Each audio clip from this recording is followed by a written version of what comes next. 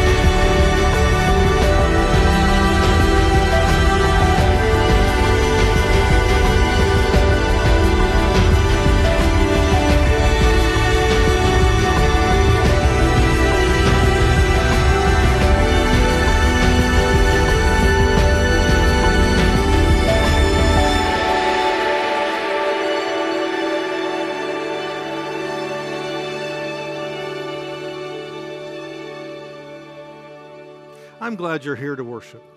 We're going to celebrate several things in today's service. One of the things that we get to celebrate is giving our Bibles to third graders. This is something we do every year, and we have on, on film to participate in today, uh, uh, giving Bibles to two of our third graders. So I'm looking forward to that. We're also going to have a rhythmic call to worship. This is something uh, Jan has been working with, uh, with some of you on, so I'm looking forward to seeing how this comes out in the service. And we're going to talk about two sisters that got into a little bit of a fight when Jesus was there. And we're going to talk about how Jesus responded to them.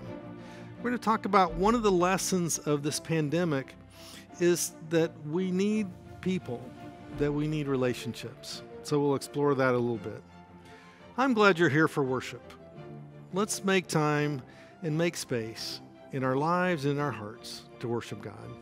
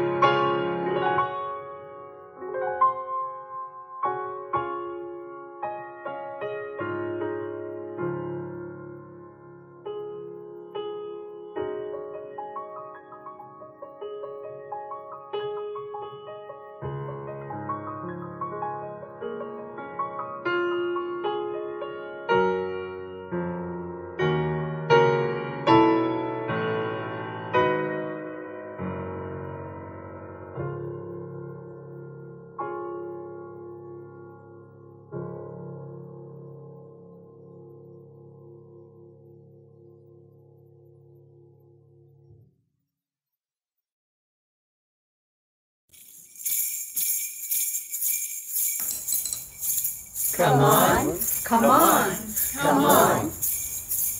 Come on, come on, come on. Come on, everybody. Everybody needs you. Come on, everybody. Let's praise, praise, praise, praise, praise the Lord. Come on, everybody. Everybody needs you.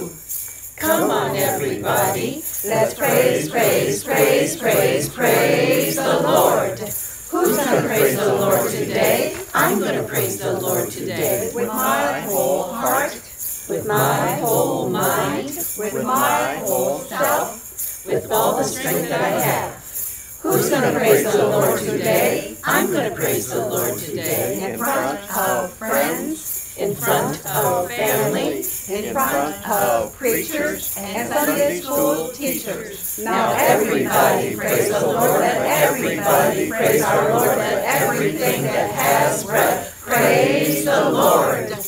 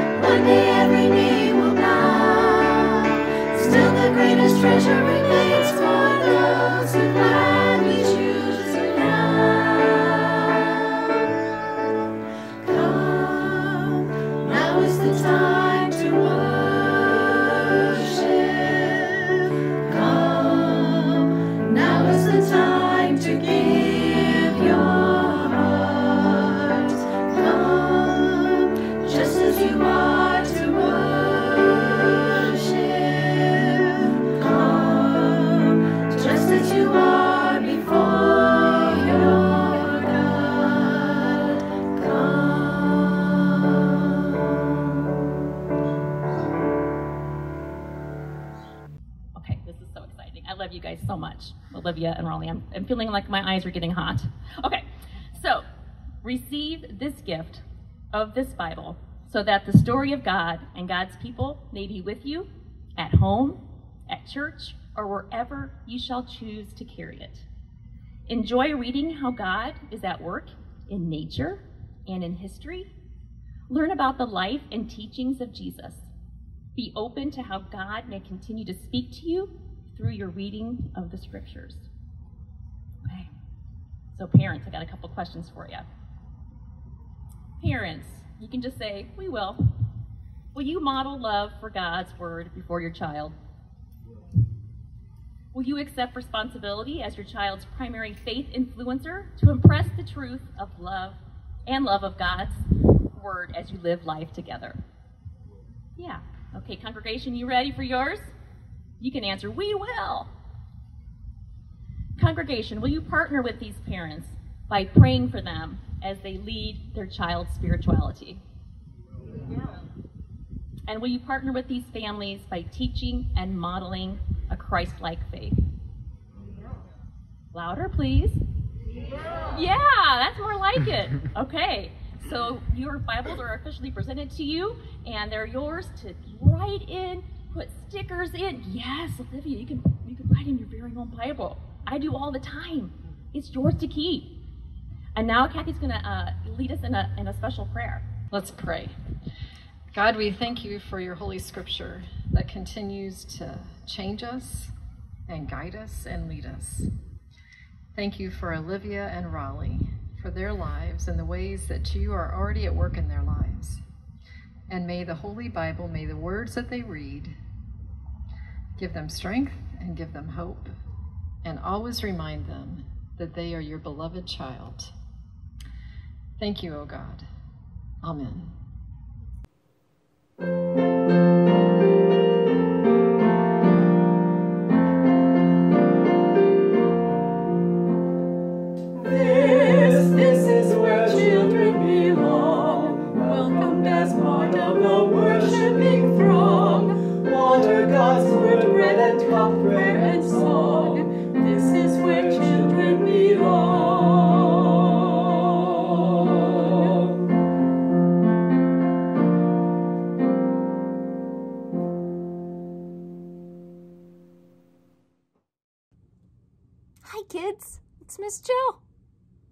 Good to worship with you today. I am so thrilled that you joined us. All month of August, we have been discovering how creative God is and how God made us just as creative. Now, creativity is imagining what you could do because you are made in the image of God. And last week, we talked about how Jesus was teaching and preaching and and showing all these amazing miracles to the people. And as we know, whenever Jesus decided to, to talk or to, to perform a miracle, crowds would gather. And one particular day, crowds began to gather around Jesus because they wanted to hear what he had to say. So he went up into onto this mountainside and he decided to teach the people something really important. And it comes from the book of Matthew. So the disciples joined in, and Jesus began to teach his disciples and the crowd that was starting to gather. Listen to what Jesus has to say in Matthew 5 13. You are the salt of the earth. But if salt loses its saltiness, how will it become salty again? Hmm, interesting. Salt. We use salt for a lot of different things. It's pretty easy to get. Um, it's not very expensive. We use it to season our foods mostly, right? I like it on my scrambled eggs and I like to put a little on my popcorn. Back then, though, salt was really, really valuable and it was hard to come by and it was really expensive. Sometimes they even paid the Roman soldiers in salt. Um, and it wasn't used just to season food. It was used to preserve meat. They even needed to use salt to make the very expensive and royal purple dye. Um, and only the kings and queens got to wear the purple fabrics. Um, so yeah, salt was really valuable back then. So what does salt have to do with us? Well, for one, we are valuable, right? And we are called to make the world a little bit better. Just like adding salt to our popcorn or salt to some of our foods makes it better. So God is asking us to be salty. I love that. So next time somebody says you're being salty, say, thanks, that's what I'm called to do. I love that. But Jesus wasn't done there. He went on to say something else really important. Okay, let's go on. We're still in Matthew 5. He also went on to say, You are the light of the world. a city on top of a hill can't be hidden. Neither do people light a lamp and put it under a basket. Hmm, what does that mean? Okay, so we know that there is darkness. Oh, but Jesus calls us to be the light of the world. And what does that mean? That means God wants us to shine light in the darkness, which means to through our actions and, and through our words, we are to help others who might be living in the dark, who might be going through a dark time. And, and when we use our creativity, kids, the creativity that God gave us because we're made in God's image, we can help others not through just our words, but through our actions. So, kids, I want you to think about how you can be the salt of the earth and the light to others using your creativity. Because with that, you can change the world. I love you and I miss you, and I look forward to seeing you again soon. Bye. Today's scripture reading is from Luke chapter 10, verses 38 through 42. Now, as they went on their way, he entered a certain village where a woman named Martha welcomed him into her home. She had a sister named Mary who sat at the Lord's feet and listened to what he was saying. But Martha was distracted by her many tasks, so she came to him and asked, Lord, do you not care that my sister has left me to do all the work by myself? Tell her then to help me. But the Lord answered her, Martha, Martha, you are worried and distracted by many things. There is need of only one thing. Mary has chosen the better part, which will not be taken away from her. May God bless the reading, hearing, and living of these words. Have you ever had that feeling that you're the one doing all the work? I mean, did you ever have a brother or sister? And did you ever say to your mom, Mom, they're not doing their share? Whether at home or work, most of us have felt at one time or another that we were carrying more than our share of the load.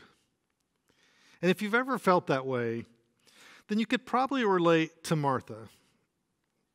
Jesus had come to their home. How exciting, Jesus coming to visit.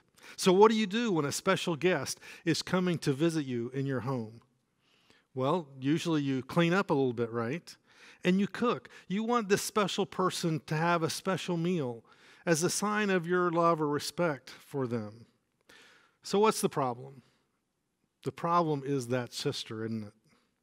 Mary is enjoying sitting at the feet of Jesus, listening to what Jesus is saying.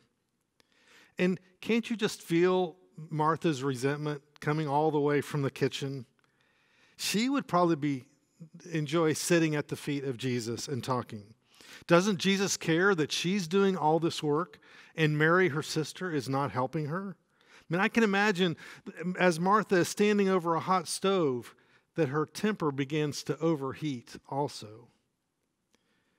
And as she hears the laughter coming from the other room, I can imagine the thoughts just begin to, to boil over in her mind until she has to come out of the kitchen and say something.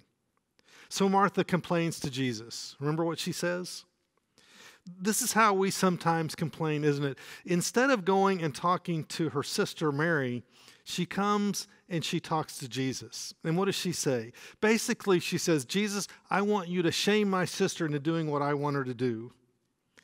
Martha tries to shame her sister into doing what she thinks is right. Now, frustrating to us triangulators, Jesus refuses to play this game. Jesus talks not to Mary, Jesus talks to Martha. Martha comes to him and he engages in a relationship and talks with Martha. And what does he say to Martha? He says those words Martha, Martha, you're distracted and worried about so many things. Distracted and worried about so many things. Only one thing is necessary. Now, I guess I don't have to tell you, this is not exactly the result that Martha is looking for. And if you're a bit frustrated with this story when you hear it, you're not alone. We know what's supposed to happen. Mary is supposed to get clobbered, shamed, put in her place. Martha is supposed to be praised for being such a good girl. Or at the very least, Jesus is supposed to have that exasperated roll of the eyes and say, Come on, Mary, do what you're supposed to do. Mary is finally supposed to, supposed to be put to work. And Martha, Martha is finally supposed to be praised. She's supposed to finally get what she wants. I mean, doesn't Jesus care about the hardworking people of the world like Martha? Doesn't he want to bring just a little bit of judgment to the slackers like Mary? And just a little bit of help to those of us who are doing more than our share of the work?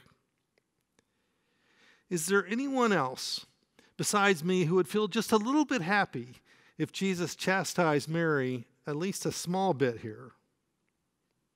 So, what's really going on?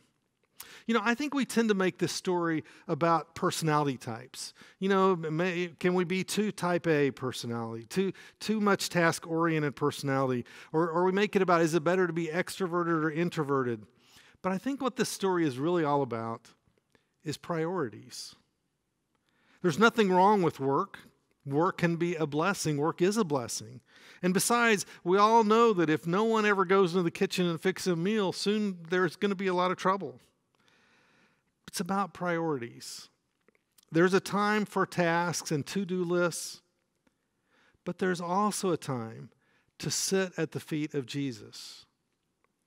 And just between you and me, I'm guessing that we don't do this often enough. There's a time to focus on work and getting ahead, but there's also a time to focus on relationship, on the people around us. So you and I are followers of Jesus Christ.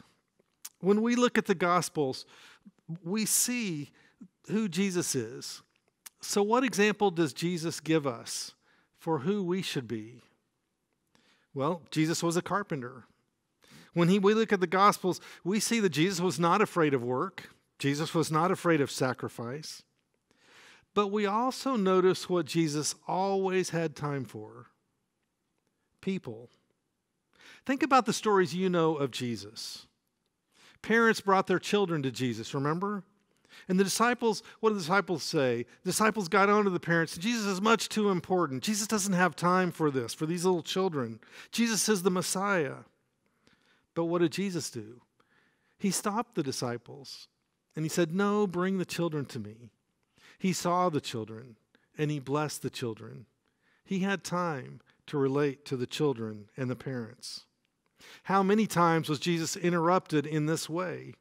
Remember, he was going to save the young daughter of Jairus, Jairus, who was a leader in the synagogue. And on the, on the way, a hemorrhaging woman touched his garment. And on the way to save this child, Jesus stops. And he turns and he finds this woman, this bent over woman, and he sees her.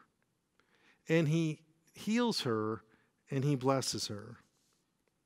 Remember blind Bartimaeus? Just outside of the city of Jericho. Jesus is, is, is passing through the town, and all the dignitaries and all the important people are there. The disciples are there. And blind Bartimaeus calls out, Jesus, save me, heal me. And of course, for the people there, this is an embarrassment. They tell Bartimaeus, Be quiet, you know, don't, don't cause trouble. But Jesus hears him. And Jesus stops this parade and Jesus calls Bartimaeus to come and, and be in the middle of the parade, to be in the middle of all these people. And Jesus sees him and talks with him, and he offers him the healing that Bartimaeus needs. The Samaritan woman, who Jesus was not supposed to talk to because she was a woman and because she was of a different racial group, ethnic group, but there she was at the well, and there Jesus was. So what did he do? He looked into her life and he saw who she really was, and he offered her what she needed living water to find God.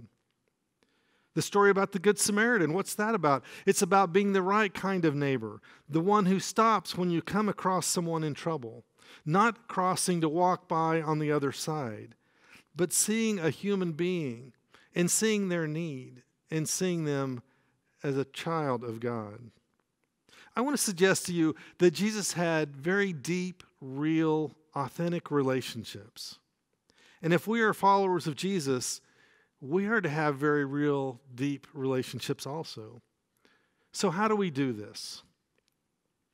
You know, sometimes when I'm feeling a little bit closed in or, or feeling a bit weighed down by the world, I look for a light-hearted book of stories to read.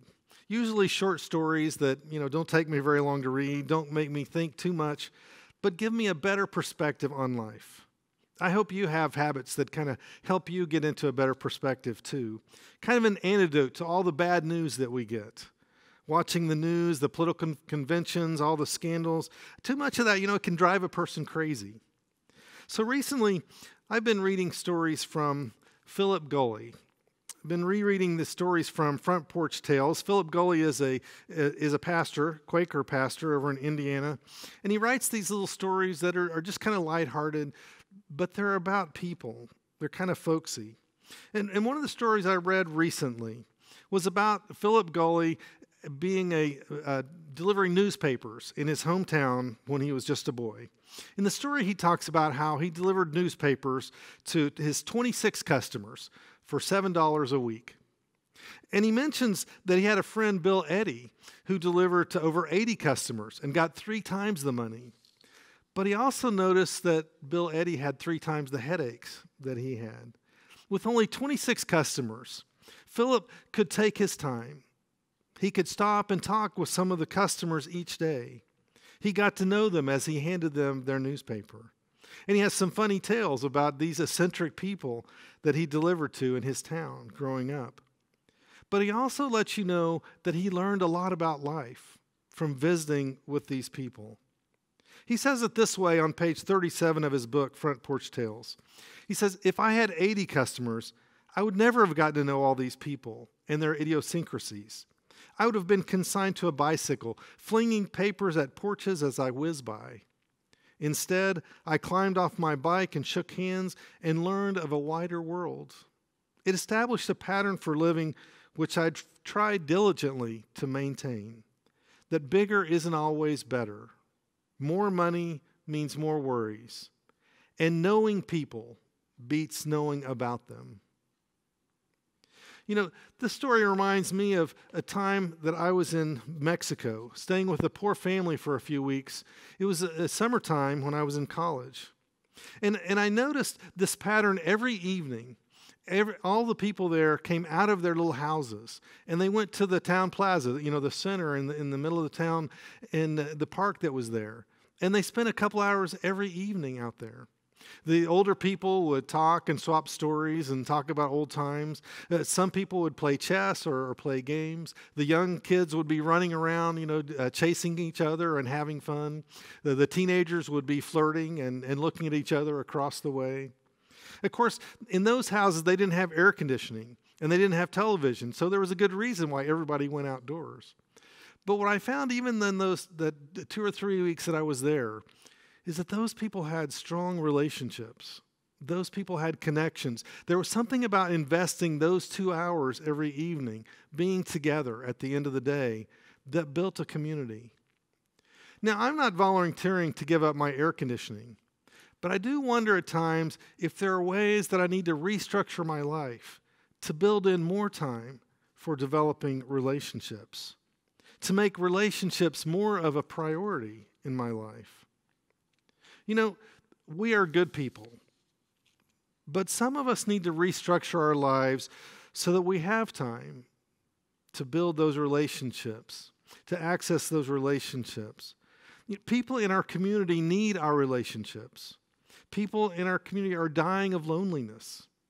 People are needing encouraging words and support, needing our smiles. Our neighbors need our relationships.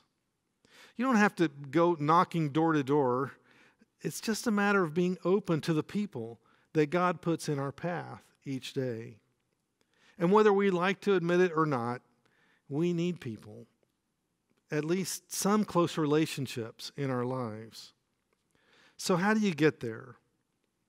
I do believe that many of us need to consider some structural changes in our lives so that our lives are more about relationships and less about to do lists and tasks and, and having nice houses and getting ahead at work. This COVID, this COVID 19 is a real tragedy for so many people. and it's a real pain for all of us. If we are open, though, it will also teach us some important lessons. One of the lessons I think we should learn from this pandemic is that we need people, we need relationships. So, how could you better prioritize people in your life? If you're willing, I'd like to leave you with these four questions for reflection. Maybe you could give a little time to reflecting on each of these questions today or this week. The first question What relationships in your life are life giving to you now? What relationships are life giving to you? Number two, what can you do to make a greater investment in one relationship? In at least one relationship, what can you do to make a greater investment? Number three, who could benefit from relating to you more often or in a deeper way? Who could benefit from that? And number four, what one action are you willing to take this week? What one thing are you willing to do for relationship. May God bless your discernments.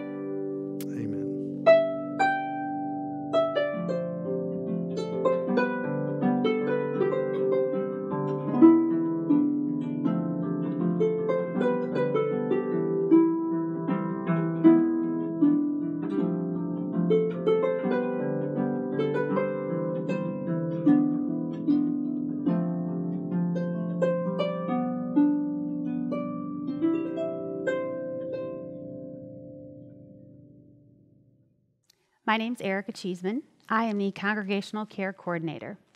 The past few months have made us more aware of the importance of reaching out. The easiest way you can reach out is to give yourself. By this, I mean make a phone call, send an email, write a card. If you're comfortable with it, pay someone a face to face visit, social distancing style, of course. By prioritizing people, and reaching out, we are making connections, building relationships, and letting others know that we care and that they are not alone.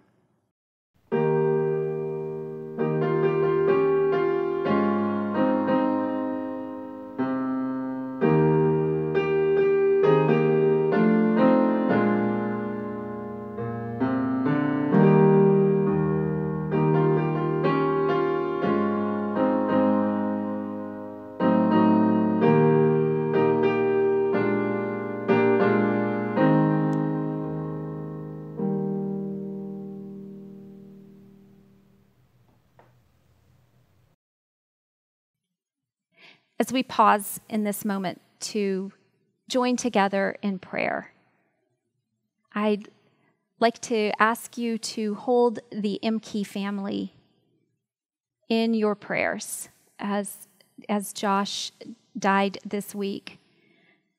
So we'll hold Josh's parents, Mark and Lori, and Josh's brother Andrew and sister Rachel in our prayers. We'll also remember those who have perhaps been affected by storms in, in the South. Um, as we're preparing this service, uh, not sure how all of that is going to play out, but knowing that there will be those who are impacted, invite you to continue to pray for them. Let's go before God now in prayer. Almighty God, you have created all people and all of creation in a diverse and complex way. And we give thanks for this gift that we are invited to engage with hope, joy, and love as your disciples. We give you thanks for the people that you have placed in our lives and that you know our relationships inside and out. You know that we have people in our lives that we love, people that we may tolerate, people that we're not sure that we can stand, and yet you give us patience and you remind us that we need one another. God, we ask that you would help us to find courage to sit and hear others when so often we want to be heard first. We ask that you will open our hearts and our eyes to see our communities as you would have us see them. And let us see all people as your children. And it's in the name of Jesus that we pray. Our Father, who art in heaven, hallowed be thy name. Thy kingdom come, thy will be done, on earth as it is in heaven. Give us this day our daily bread, and forgive us our trespasses, as we forgive those who trespass against us. And lead us not into temptation, but deliver us from evil. For thine is the kingdom, and the power, and the glory forever. Amen we continue to be thankful for the ways that that we have continued to give each week. The ways that we are able to be a witness for our community, for the nation, and for the world. Our prayer is that this congregation will be a witness by being immersed in Scripture, by being constant in prayer, joyful in worship, and generous in giving. And that we will be a loving, supportive community reaching out to those in need what I believe is unique about YWCA is we offer a wide variety of services to the community. A lot of people may know us for our childcare, but we have a lot of other different unique programming that serves McLean County that not a lot of other places offer.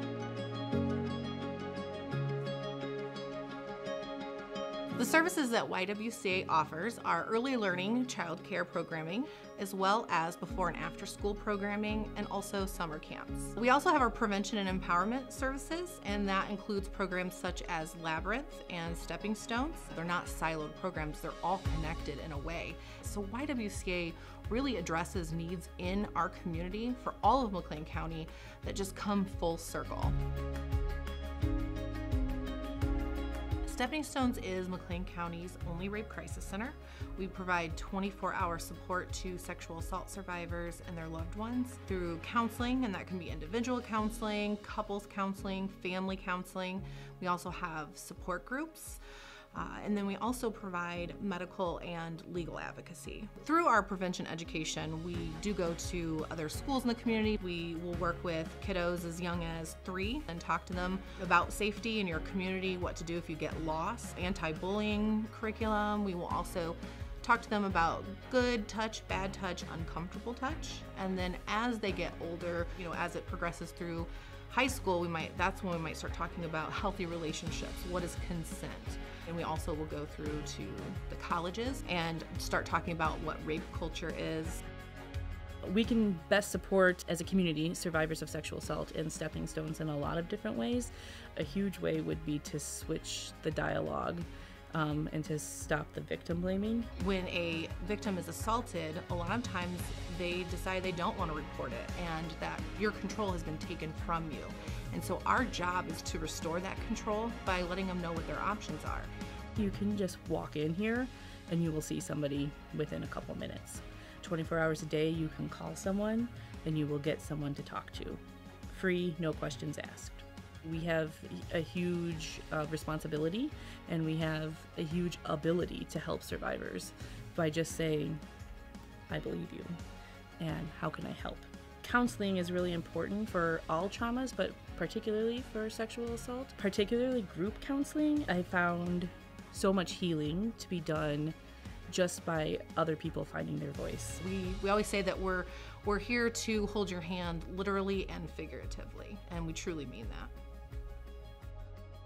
Labyrinth is a program at YWCA that helps formerly incarcerated women reintegrate back into our community, where the women can come and they can learn different skills to go into the workforce. Really, Labyrinth is here to help build their confidence so that they know that they can do that. My name is Heather Caniel, and I've been a client and a volunteer and a just grateful part of Labyrinth organization for the past three years. I utilized a lot of their services for my networking capabilities. I do own a salon here in town now, and with a lot of hard work. And with the networking tools that I've been able to utilize through Labyrinth, none of that would have been possible. Unfortunately, I was the last female offender to give birth cuffed to a bed in the state of Illinois. I learned how to be a mother and things like that in um, prison. And I knew that in order to change, I needed to change myself. And that meant not going back to that community. Everybody has to help themselves, but you have to want it. So Labyrinth has given me all the tools physically that I need to be successful. One of the biggest pieces of the Labyrinth program is our transitional housing, and that is where we house up to eight women for two years. If you're constantly operating in crisis mode, then you can't actually start to focus and fix on your trauma. Once we really start to see the change in the women, you start to see their smile again. You start to see them start to believe actually in themselves again. Helping a community outreach like Labyrinth helps everybody in your community because you're giving somebody a chance. You're giving a mother a chance, you're giving a daughter a chance, you're giving them a chance to be successful, to get a job, to put food on the table. You're giving them a chance. You know, working in both Stepping Stones and Labyrinth mean a lot to me and make me feel like I'm a better person and that I'm making a difference, but also that it's not just about me. These people are vulnerable and they deserve to be loved and they deserve to be believed and supported. And once the community gets on board and starts to believe that too, then I think McLean County can be a completely different place. And it really can become one community that loves one another and supports one another.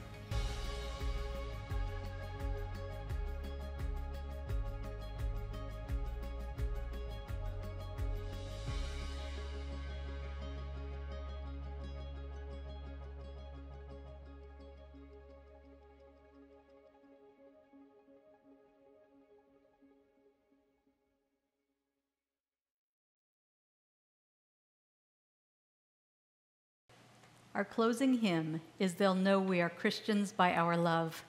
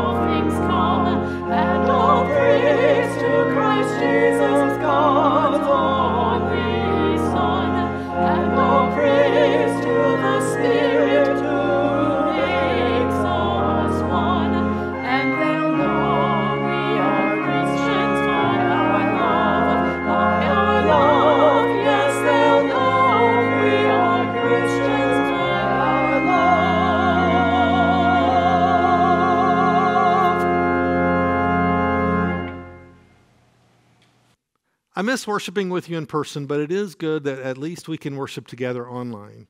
It is important to continue to stay connected in faith to God and to each other.